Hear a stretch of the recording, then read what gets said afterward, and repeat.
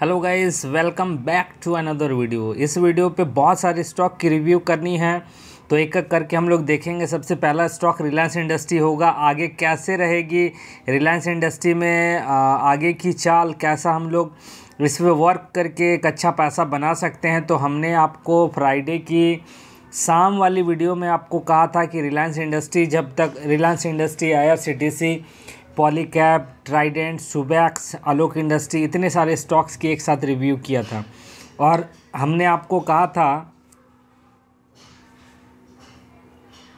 Sorry हमने आपको कहा था कि दो हज़ार तिरासी, जी हाँ टू थाउज़ेंड एट्टी थ्री का लेवल जब तक ये क्रॉस नहीं करेगा फ्रेश बाइंग हम लोगों को नहीं करनी है। स्टॉक नीचे की तरफ़ 2000 पे ज़बरदस्त सपोर्ट है 2008 पे ज़बरदस्त सपोर्ट है। और ऊपर दो हज़ार तिरासी रुपये का टू थाउज़ेंड एट्टी थ्री का एक रेजिस्टेंस है।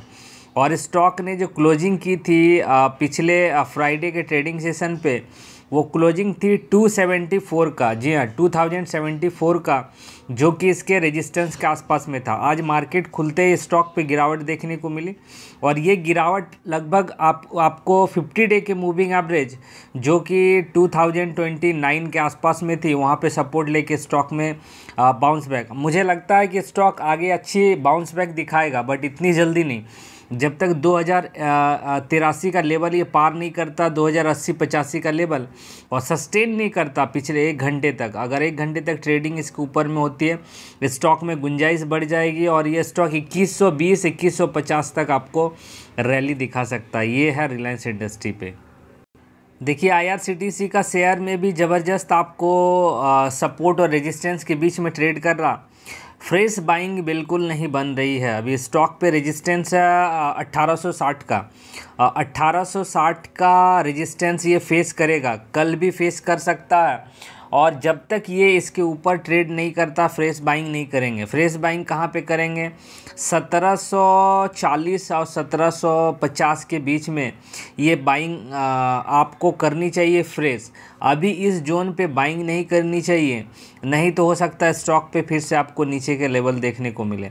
तो जब तक ये 1730 1740 के आसपास में ना आ जाए, आप इस स्टॉक पे पोजीशन ना बनाएँ। आज की क्लोजिंग है 1840 की। और अगर ये स्टॉक आपको अट्ठारह सौ साठ के ऊपर पे ट्रेड करता दिखे, तब एक छोटी सी पोजीशन बना के अट्ठारह सौ पचास का स्टॉप लॉस मेंटेन करके, इस स्टॉक पे हम लोग टारगेट जो है, सबसे पहला उन्नीस सौ का टारगेट अचीव करेगा, और उसके बाद हो सकता है उन्नीस सौ दस बीस के आसपास में फिर से प्रॉफिट बुकिंग आने के पूरे पूरे चांसेस है। बिकॉज़ देखिए, ये वो लेवल है, ये वो लेवल है जहाँ तक ये स्टॉक जा सकता है अगर ये अट्ठारह को पार करता है तो। देखिए टाटा मोटर्स को आज प्रेजेंट किया हूँ बिकॉज़ टाटा मोटर्स में कुछ अच्छे लेवल्स आपको देखने को मिल सकते हैं। टाटा मोटर्स 304 पे एक सपोर्ट और 340 अड़तालीस पे इसका रेजिस्टेंस है। जब तक ये स्टॉक 315 को क्रॉस नहीं करता है तब तक हम लोग इस पर फ्रेश बाइंग नहीं करेंगे। नीचे स्टॉक का तीन सौ पे एक जो मैं सपोर्ट देख रहा हूँ और आप भी देख पा रहे होंगे स्क्रीन पर वो सपोर्ट आपको 304 के आसपास में दिख रहा और स्टॉक ने जो क्लोजिंग की, वो 308 के आसपास में क्लोजिंग की है। तो अगर आपने इस स्टॉक पे पोजीशन बना रखा तो 300 का आप नीचे सपोर्ट मान के इस स्टॉक को आगे के लिए प्ले कर सकते हैं। और अगर इसमें बहुत ज़्यादा तेज़ी हुई तो 340-45 तक आपको दिखा सकता है। कल के लिए हो सकता है ये स्टॉक 315 तक आपको दिखे। अगर 315 के ऊपर पे इसने क्लोजिंग किया, तब आप इस स्टॉक पे क्या कीजिएगा?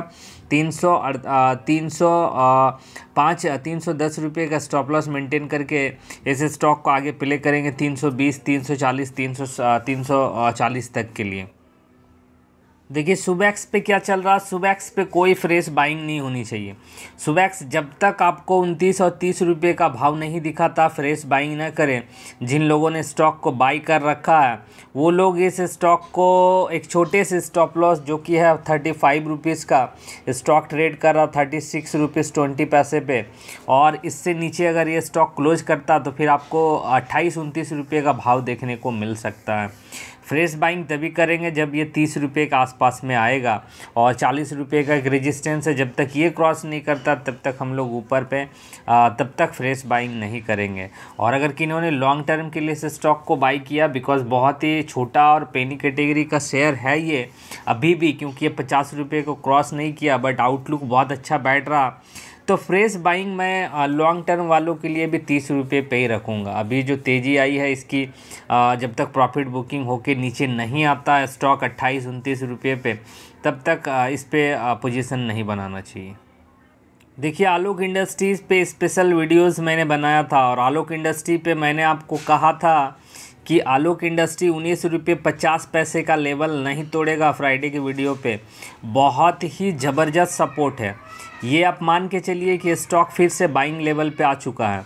आज स्टॉक ने उन्नीस रुपये पचास पैसे को छुआ है, बट स्टॉक पे क्या हुई? क्लोजिंग जो हुई ना, वो काफ़ी काफ़ी बेहतरीन है। यहाँ से एक रिवर्सल देखने को मिल सकता है। अब टेक्निकल सेटअप आलोक इंडस्ट्री को देखा जा सकता है। और ये कैंडल मुझे बता रही है कि इस स्टॉक पे उन्नीस रुपये पचास पैसे का भाव नहीं तोड़ेगा अभी हाल फ़िलहाल पे। जो लोग शॉर्ट टर्म में इस स्टॉक पे पैसे बनाना चाहता है, मैं क्लियरली जो बता रहा हूँ उस चीज़ को ध्यान पे रखिएगा। जो शॉर्ट टर्म के लिए इस पे पैसे बनाना चाहता है, उनके लिए एग्जैक्ट पोजीशन बनाने का जगह है। मैं आपको बाइंग नहीं करने के लिए कह रहा हूँ। चीज़ों को समझिएगा मैं इस पर कैसे काम करूँगा, वो मैं आपके साथ शेयर कर रहा हूँ। इस चीज़ को पूरा समझ के जाइएगा। उन्नीस रुपये पचास पैसे पे इसका सपोर्ट है मैं। उन्नीस रुपये के स्टॉप लॉस के साथ में इस स्टॉक पे प्ले करूँगा। अगले दस दिनों के लिए ये स्टॉक और बाईस रुपये, इक्कीस रुपये का पहला टारगेट अगर ये अचीव करता तो बहुत अच्छी बात है। और बाईस रुपये के ये दो टारगेट्स मैं अभी हाल फ़िलहाल पे इस स्टॉक पे दे सकता हूँ। बाकी इसकी रिजल्ट्स जब आएँगी तब समझ में आएगा। और जो मैंने कहा था कि उन्नीस रुपये पचास पैसे का जो लेवल है वो काफ़ी सपोर्टेबल है। और आज देखिए इस स्टॉक ने यहीं से सपोर्ट लिया। आज तो स्टॉक सात आठ परसेंट तेज था सुबह को बट अचानक से फिर गिरावट आई। और फिर से स्टॉक में देखिए जो लेवल्स थे उनका, इसका उन्नीस रुपये पचास पैसे का इसके ऊपर पे क्लोजिंग किया। उम्मीद करता हूँ इस वीडियो पे मैंने बहुत सारे स्टॉक्स की रिव्यू किया हूँ और ये हमारा अपना पॉइंट ऑफ़ व्यू है इन सभी स्टॉक्स को देखने का। बाकी आपकी मर्ज़ी होगी, आप अपने हिसाब से देखिए और अपने हिसाब से काम कीजिए, ज़्यादा बेटर होगा। एटलीस्ट ट्रेडिंग करने से पहले आप पेपर ट्रेड कीजिए। और उसके बाद जब कॉन्फिडेंस बिल्ट हो जाए, तभी स्टॉक मार्केट पे काम कीजिए, ज़्यादा सेफ़ प्ले होगा। बाकी मर्ज़ी आपकी है, आपको क्या करना आप खुद डिसाइड कीजिएगा। मैं मिलता हूँ नेक्स्ट वीडियो पे, तब तक के लिए बहुत बहुत धन्यवाद। Thank you